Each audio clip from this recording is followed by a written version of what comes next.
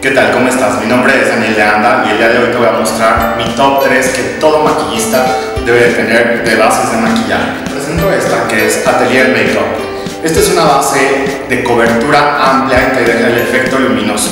Increíble, me encanta. Tengo esta también que es Face and Body. Este es de MAC y entonces lo que va a hacer es como un efecto HD, parece que no estás maquillada y únicamente va a dejar un efecto como semi mate. Te va encantar. Y esto de Laura Mercier es una crema con color, el efecto es hidratado y bueno, todos los maquillistas amamos esta.